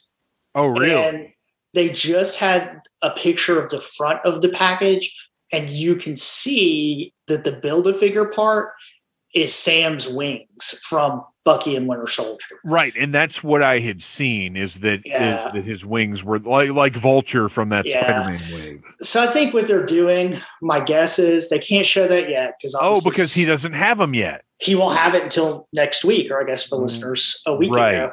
Um, and then I kind of wonder if they're going to hold off. I think the original rumors were the wave finishes off with some figures from Loki. Um, oh wow! So they may have to wait until Loki comes out. Holy shit. To show this whole thing. So I don't know. It's they're just the MCU is screwing them. They got to figure out something because they're getting killed at retail right now. Yeah, because the the MCU stuff is all in line with the comic book stuff, so it's not like they can just forge ahead. Yep. Yeah. That's yep. fair. So come like November. We're probably gonna, and I'm sure they've got adult uh, Doctor Strange. I mean, yeah, Multiverse already, Madness has got to be lined up, ready to go. Yeah. Wow. Um, one last thing I want to mention real quick. They did finally showed uh Endgame Thor. Oh yeah. And one of the interesting things that was said, uh, I think his name is Dwight. He's my favorite guy that works on Marvel Legends, the guy mm-hmm. with the mm-hmm. beard. Yeah. Uh, although I love all those guys, they're great. They're very forthcoming. They're very they're they're as transparent as they can be. Uh, and he pointed out, like you know, sometimes it's better when we have to wait for a figure because if you look at like uh, Thanos and the the black what are they called? The Black Order. The Black Order. Like those MCU versions were inaccurate mm-hmm. that first came out, and they had to correct them all with that box set. Which, by the way, listeners, if you're sleeping on that box set, you better jump on that shit because I got it for Phantom Junior, and it's amazing considering the price. You get like it's great and they're corrected versions of the black order. It's a great great box uh, set uh, you essentially Amazon. get two build a figures in that box. yes thanos and uh what's his giant Cull obsidian yeah. Yes yes. Uh and they are corrected and movie accurate uh, so if you haven't gotten on that, as a matter of fact, I didn't get that set for myself because I've got the original releases. But right now, I'm sitting here thinking like I probably should get that. Uh, but anyway, he pointed out that like sometimes it's better to wait because then you have the final. Uh, you know, so much of this stuff is is uh, CGI now that Hasbro doesn't know exactly what these finished character models are going to look like. Mm-hmm. So Endgame Thor, if he had come out when Endgame came out, would have been inaccurate. Mm-hmm. This figure, since it's coming out a year later, two years later, whatever the heck it is now, is completely movie accurate and looks great. Uh, and then the other thing that they showed that I loved was the Eye of Agamotto. That thing is crazy cool. It's awesome, and it's fifty bucks. I, I mean, that's a steal. I don't know how that magic time gem works when they take it out. And they were explaining it at first, and I was like, "Oh, I'm sure it's just like that's you know, kind of dim. It won't be that big of a deal." And then on the video, he took it out, and I was like, "Oh my god!" Like that thing is bright, and he's just holding his hand, and they were like, "Yeah, it lasts about ten minutes." That's ten insane. minutes. Yeah, it's it's amazing. Yeah, I'm I'm all, and I'm not. I got the Infinity Gauntlet prop, or it's not really a prop replica, but like the wearable infinity gauntlet that they made and it's mm-hmm. really fun it's really cool i'm glad i got it but i'm not huge into that stuff but that eye of agamotto like it looks so cool i and, and yes for even like 50 bucks is a lot of money but for that i feel like 50 bucks is a steal oh i totally agree like all the electronics it has and all the junk it does. Like that thing's really cool. And those helmets, like have you ever seen one of the helmets in real life? Dude, I've got um okay, so I've got the first order stormtrooper helmet mm-hmm. that I got. Amazon did a what are their gold box or whatever it is. Mm-hmm. It was like 35 bucks. And I was like, well shit, I can't pass it up for that. But the fucking faceplate is already yellowing. Oh, really? It's a fantastic helmet, but that the plastic is already yellowing on the faceplate. Um, I got one of the X-wing fighter helmets. I don't. I think it's Poe Dameron. Yeah, it's Poe Dameron's Yeah, helmet pose. with all the sound effects and shit. Mhm. I got that from uh, Burlington Coat Factory for thirty-five bucks. It's incredible. Yeah, GameStop had a bunch of them for like thirty-five bucks last week. Like Yeah, they- and because they're Yeah, big. They have to clear that stuff out. Um, Mhm. I paid full price for the Boba Fett helmet because it's Boba Fett, and I'm like, shit, I gotta get it. And it's it's amazing. I want that Mandalorian helmet. Uh, and then I got the Cobra Commander helmet. I was gonna say, did you get? I saw those I- yesterday at the store. I actually. haven't opened it yet because my plan had been to do an unboxing on the Needless Things YouTube channel. And I just haven't been in a spot where I felt like doing a face unboxing because, you know, everything I do is just my hands opening Mhm. shit up. Um, but yeah, I got the Cobra Commander helmet. Uh, those, those helmets, like if you pick one character that you absolutely love and just get that, it totally worth it. And the dude that did you see the wedge helmet? Yes, Looks Like awesome. It looks really nice. Oh man, yeah, those are those are nice pieces. I I I can't imagine collecting all of them, but picking one out from time to time or being a dickhead who doesn't actually support the line and waiting till they go on clearance. Right. You, you can get that Deadpool head for like 40 bucks right now. right, right, which which I think we called pretty early on. Yeah. oh, All right. yeah. So speaking of Star Wars stuff, I think it's probably time to move on to the Black Series. And you're like, I every once in a while they throw a character out, and I'm like, oh shit, I gotta have it, like Bo Katan, um, which I I have. I ordered from Big Bad, and uh, Big Bad got her pretty early. I've I've had her for a couple weeks now.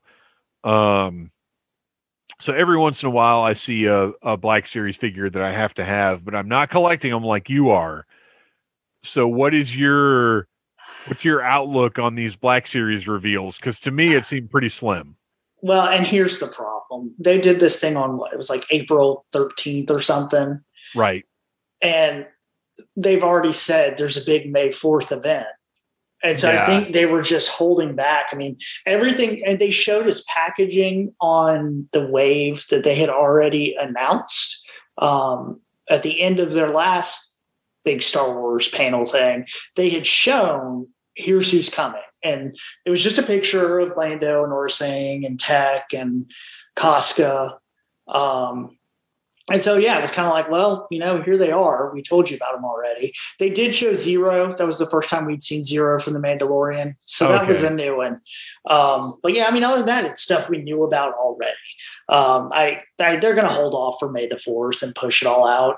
They kind of said that. Um, they're going to announce a bunch of the the what's this year the 50th anniversary uh, Lucasfilm. Right. That's like an ongoing thing. Because Yeah. those those are like Mace Windu, um, all the Phantom Menace carded stuff. That's all hitting like now. Yeah, and I've seen them. God, they look good. I don't need those figures because Did you did you ever think you'd have nostalgia for that Darth Maul card back?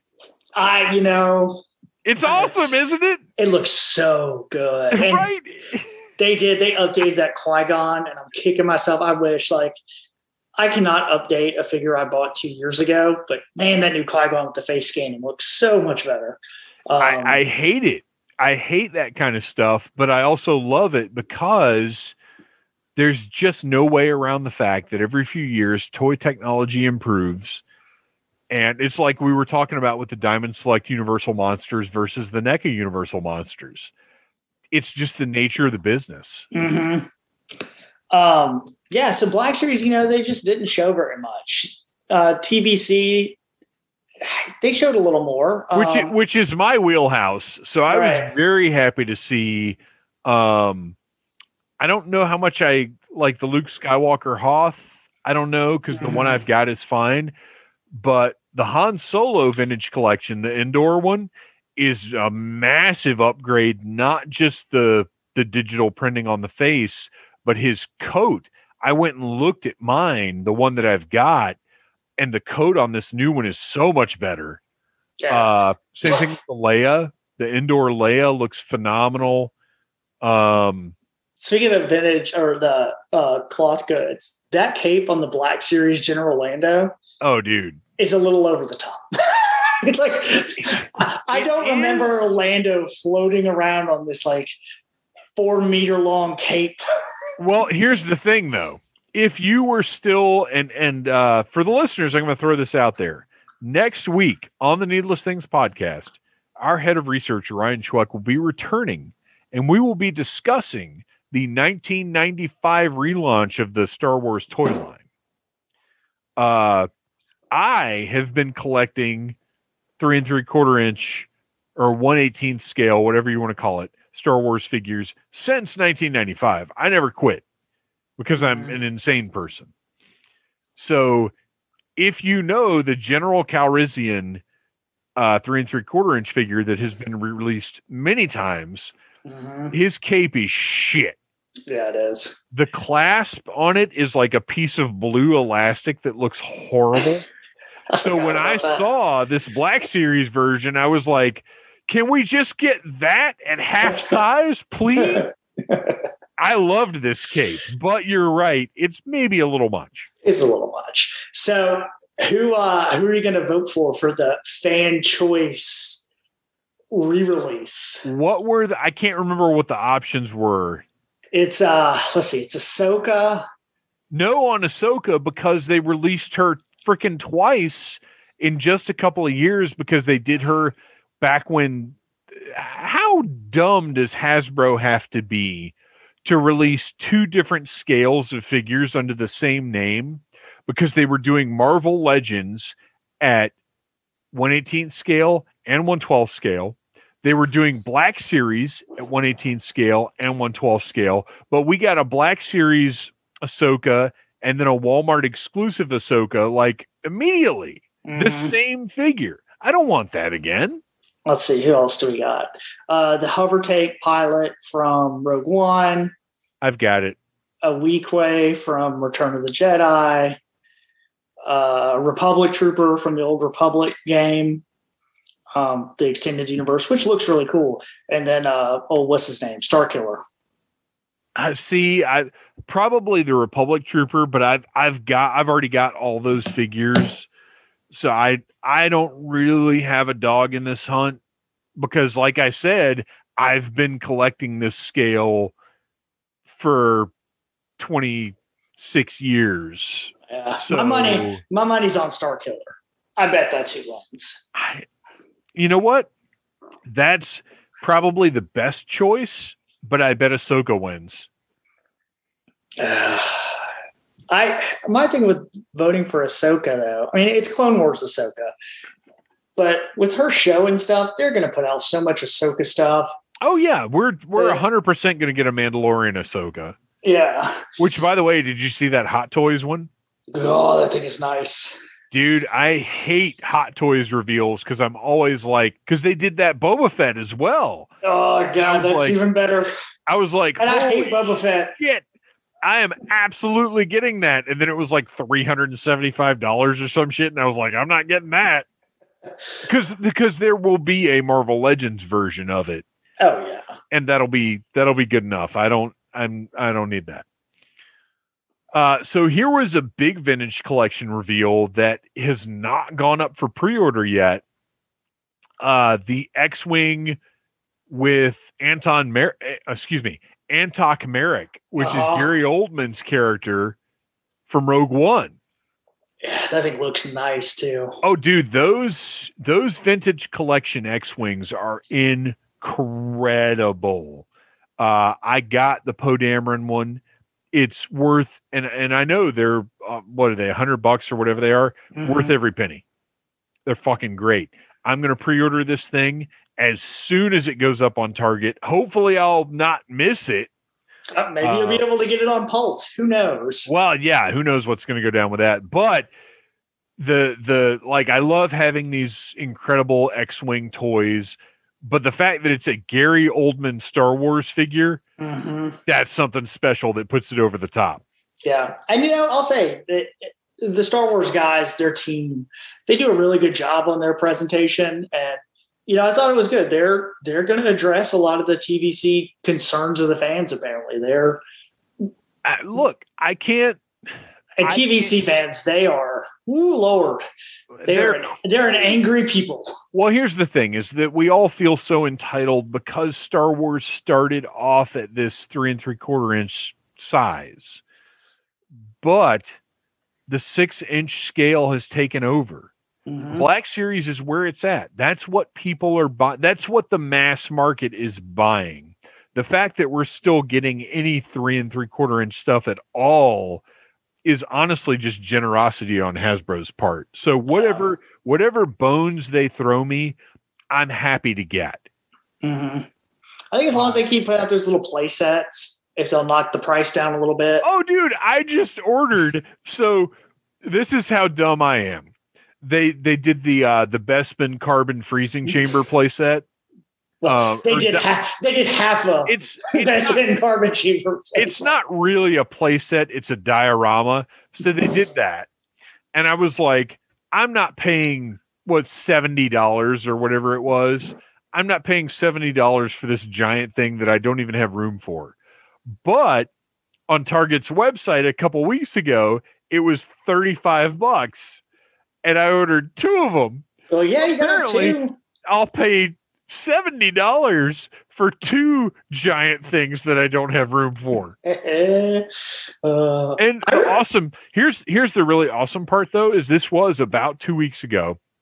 Uh, Target's estimated delivery date was last Thursday, uh, which was the 15th or 16th, I don't remember. Um, and it has not arrived yet. And it is currently in like Minnesota and estimated to arrive on the 23rd. But Target, their tracking is still showing it as arriving on like the 16th. so eh, when you order from Target, just be ready to be patient. They must FedEx uh, doesn't give a shit about Target. They must have hired the old Matty Collector team. They're gonna. Oh my gosh! Right? they're gonna send it to that town, Arizona, whatever yep. town in Arizona that was. All right, let's see what else we got. Okay, just real quick, I want to mention the fact that it seems that uh, Hasbro now has the 112 scale Fortnite license. Like it's not just these special release figures. Yeah. It seems like they have the license now. Uh, I don't really know anything about Fortnite at all, but my son does and was very excited for all of the things that they showed because we we sat down and watched the the presentations together. He was very excited about all the Fortnite stuff. So that's all I've got to say. Well, and and I Meowscles with the weight bench was a big hit. I don't know. So that's I'm just going to throw that out there. Um Oh, you know what else? Fan Fest I want to hit on. Oh yeah, what? The Optimus Prime toy. Good okay. lord! I never watched the video for that. What? Tell me about this thing. It it's probably the coolest toy I've ever seen. Really? Like, it. I highly recommend watching the videos on this thing. Okay. So you know they had Kevin Smith and Jason Mewes did the kind of unveiling and demonstration on this thing. Oh, I didn't even know that because they're all they're like Kevin Smith's Masters of the Universe guy right now. Yeah, so they had them do it. So you know the big thing out of the way. It is a seven hundred dollar Optimus. What the fuck are you talking about? It is seven hundred dollars. What? This thing transforms by itself.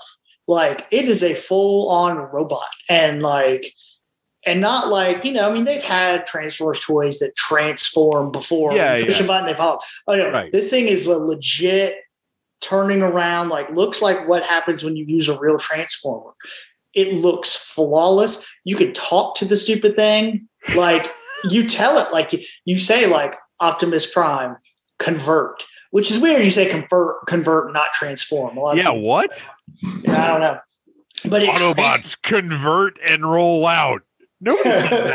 yeah. I, the only thing I can think of is maybe if you say transform to it, it does something else oh, because oh, okay. it like you can talk to it. Like you say, like Optimus Prime, say hello. And the damn thing like waves and starts talking. Peter Cullen? Yes. It is the most amazing. And you can control it with an app. Like it's one of the coolest things All I've right. ever I, seen. I need to go watch this, I guess.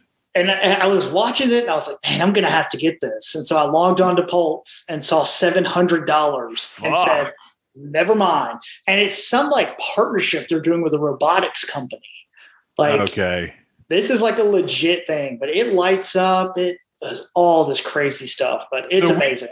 We've been worried about like Terminators and Skynet and all that, but what's actually going to kill us is this little Optimus Prime. Well, I, you know what I thought of is uh, what was that movie? Uh, small soldiers. Small soldiers. Yeah, I like yeah. watching. I was like, dude, this is some small soldier shit. Like that thing's gonna gain sentence and attack me with an energy axe at night. Uh, so last, I think last bit of toy news I wanted to cover. Um, uh, real quick, I just want to mention this company called Plastic Meatball.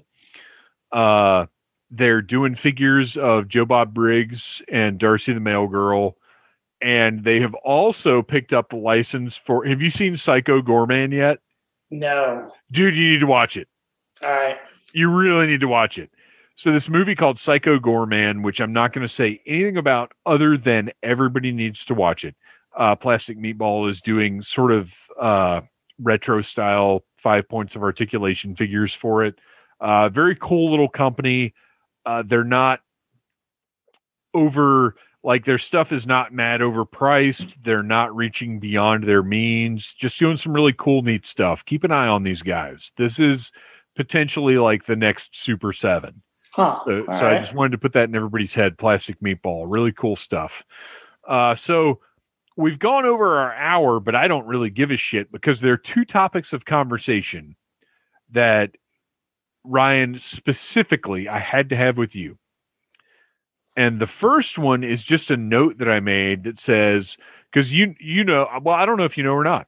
Uh, I'm trying to rebuild my vintage GI Joe collection. Okay.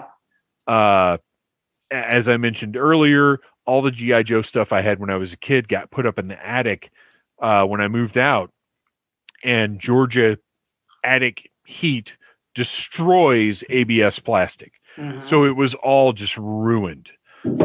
Only thing that I've got left is a Destro figure and my Terrordrome. So you've got brittle O rings everywhere.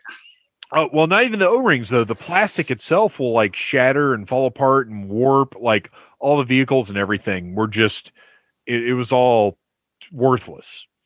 So I'm rebuilding that collection right now, and I'm actually having a really great time uh,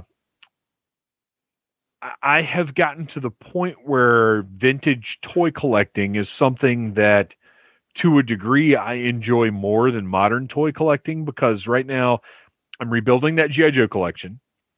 And I'm also very, very slowly collecting Inhumanoids. Mm-hmm. And what's rewarding about that is however much of it exists, that's it. Mm-hmm. I don't have to worry about what's going to happen in the future with Inhumanoids and GI Joe from the 80s because I know how much of it is out there is what's out there. They're not making anything new. So like once I get that 1984 Storm Shadow, I'm done with that Storm Shadow. Like there's not going to be a better version. They're not going to upgrade. That's it.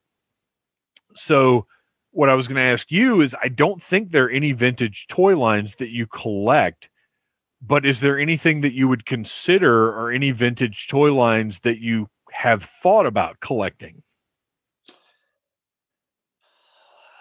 I don't collect any vintage toy lines. Um, you know, we were talking earlier about toys we have from when we were young, and I only right. have two left. Um, I've got my original Chewbacca, and I have my Mumm-Ra. And oh, nice!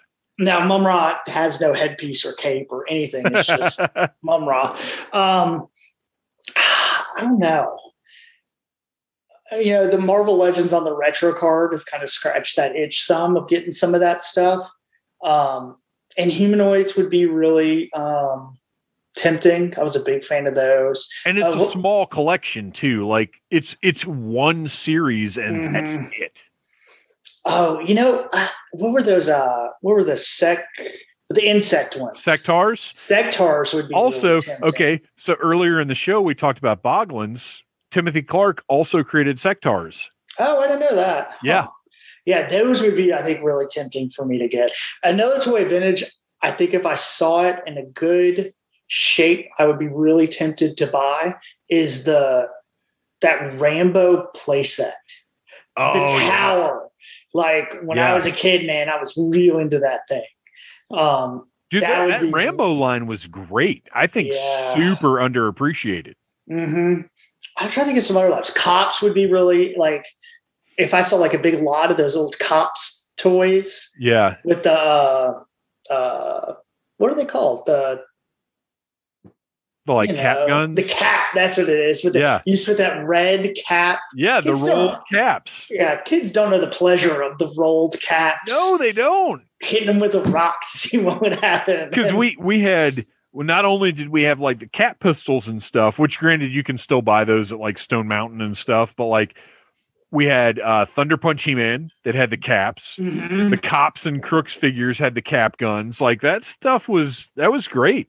Yeah, yeah, I would definitely probably look at some myself. But you're right. Like it's hard sometimes when I think about like Marvel Legends and Black Series. Like there's there's no end to this, and at some point, right? At some point, I'm going to have to pull out of it, and I, I don't know. I mean, I, I definitely don't get now Black Series. I get everything, but Marvel Legends, I don't complete like I used to. Um, well, and the other problem with Black Series is what we were just talking about, where like you've already got Qui Gon, but now there's a better Qui Gon.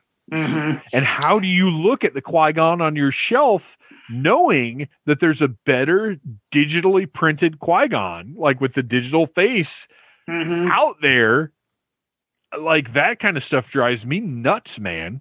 Yeah, like having that full DC Universe Classics collection. Oh, it's beautiful. I like that too, man. That thing is perfect. And you know like, it's done. Yep. There will never be another DC Universe Classics figure uh, I still don't have that stupid Vixen, but eventually I'll pull the trigger and go. Someday. All right. The other thing, the the other non-news thing that I wanted to discuss is the Detolf debate. Ah, yes. So I can see mine from here. Anybody who's been in the Phantom Zone, uh, and and at some point I, I get requests for this like weekly. At some point, I will do a YouTube tour of the Phantom Zone. Uh, but my preference is the wall mounted shelves mm-hmm. where you you mount the brackets on the walls and then line the shelves up however many you need however you know whatever depth whatever and I, I've, I've been thinking about this a lot lately and i've realized that i want my toy collection to feel like some like arcane mad scientist laboratory where there's just wild stuff everywhere. Everywhere you look, there's some new weird collection, uh, and that it's out and mm. open and accessible. Because when I was a kid, I loved going to museums, but I hated that everything was behind those glass windows. It drove me crazy. All those cool little like you'd see like a diorama of the Alamo, but it was behind this glass, or you'd see mm. like cavemen and a saber-toothed tiger behind this glass. I hated that. Uh, and the Detolfs to me, I think they look fancy as fuck. I think anybody who wants to put their collection in that stuff, I think that's great. But I don't want my stuff closed off behind glass. That's just not my my style. That's just not what I want in my collection.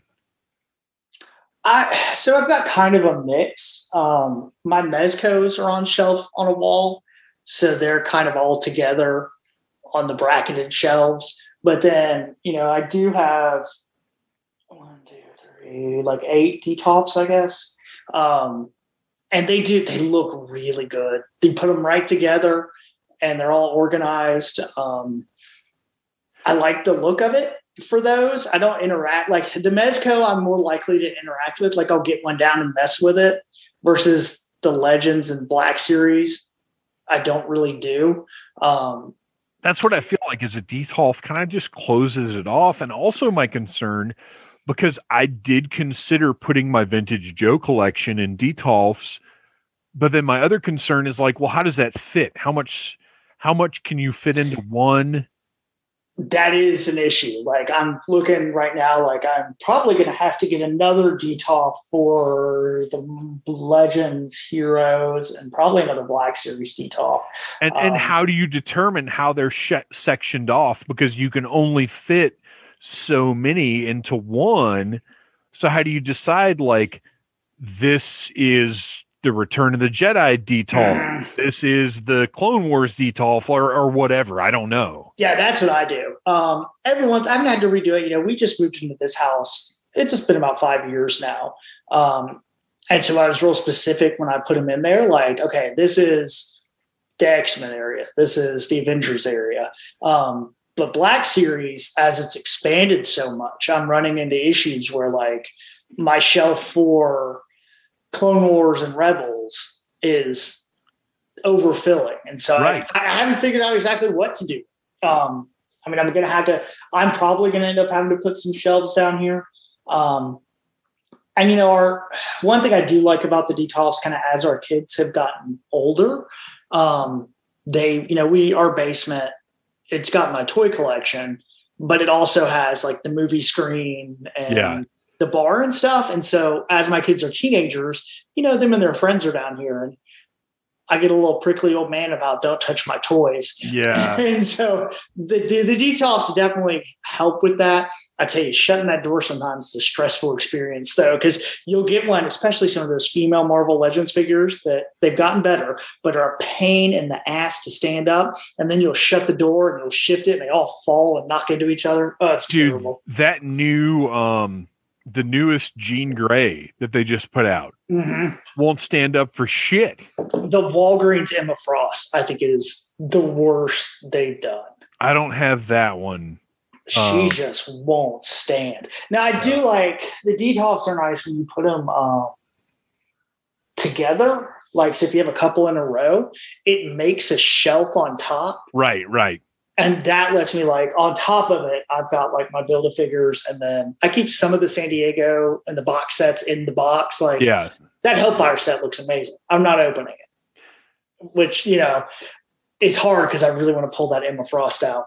But that box looks so good it looks so good on top of a detolf that i i think they look very very nice. And uh, you know you see online people that that's all they've got lining the walls. Mm-hmm. i think it looks really really classy but that's just not what i want out of my collection. It doesn't work it doesn't work for me. Yeah yeah, I you know I have a little like I said, I have a little bit my DC classics. They're on just regular shelves we kind of had built in, and I do like the open. Now they gather a lot more dust, and yeah, the Detolfs are nice about that. Yeah, and that that is definitely a problem. I'll tell you one thing that's made a big difference on the wall mounted shelves is I found on the container store. Uh, they actually have these risers that are mm. extendable risers. They go from uh, 12 inches to 24 inches, maybe. Mm-hmm. And they're perfect for action figures. I've got some of my Ninja Turtles on them. All of my MCU figures are on them now. And then my vintage Joes I've got on these things. And they're just absolute. I'll put up uh, for the listeners if you want to follow Needless Things podcast on Instagram. Uh, I'll put some pictures up and you guys can check them out. Uh, they're fantastic and they're like 10 bucks, I think, maybe, but they're way better than those uh spice rack risers. Yeah, I was to say the spice racks what I used for a while. They those never are, work right. The little yeah, the little bumps on those are are terrible. These are f- totally flat. Uh, they're white, but you can spray paint them whatever color you want. Mm-hmm. Uh, they're awesome. Well, Ryan, I think that about wraps it up for for general toy talk. Uh, next week, we will be back to talk about the 1995 Kenner Star Wars relaunch. Buff Luke Skywalker time. yeah, that's right. Hey, well, okay, here's something. Well, you know what? I can't announce it yet. Uh, more to come on that line next week. Ryan, thanks for coming on and uh, just running down what's going on in toys. Awesome. Oh, let me do my plug. I actually have something to plug for once. Oh, yeah, bring it. I usually never do. Um, I co-host Execute Chapter 66 here on the Needless Things family of podcasts. Uh, me and Beth and Chad talk about Star Wars books. Uh, there's some really great stuff coming out soon with the new Thrawn and High Republic stuff. So check it out. Awesome. Thanks a lot, man. We'll talk to you soon. All righty. I completely forgot to mention this in the intro, but I had enough to talk about, right? So I, I got hit up via Instagram today for uh, a cooperative advertising opportunity, which anytime the word opportunity is thrown at me, I'm immediately suspicious. Uh, but I received a message from an independent operative who told me that she had a contact who would be interested in advertising on my podcast. Very exciting, right? This has worked out really well for me in the past. It's not like uh, I got dicked over by any companies with this sort of thing, uh, recent memory. Uh, but anyway, uh, so she said, contact Smooth My Balls on Instagram and that they would be interested in me reviewing their product. So I DM'd Smooth My Balls and said, I am very interested in scrotal hygiene. I would love to support your product. Uh, they got back to me with a form uh, letter from a representative named Nick. And I got to tell you right now, if I am promoting a ball shaving product, I am not going to use somebody named Nick. Or, or I'm going to be like, Nick, look, Nick and balls have a bad connotation when shaving is involved. So why don't you call yourself Stuart or Randolph or Mickey or something? Uh, but anyway, Nick sent me a, a form message with a link to, to a free to how to get my free sample kit so I could shave my balls and talk about how great it was on the show. Uh, and then I got to the bottom of the thing and it was like, so now just send us $60 and we'll send you your free $60 plus shipping and we'll send your free kit. So, needless to say, you guys are not going to have to hear about how smooth my balls are because they aren't. I love you guys. You have been listening to a Needless Things podcast. You can follow Needless Things on Facebook, Twitter, Instagram, and at needlessthingspodcast.com. Love you. Mean it. Uh huh.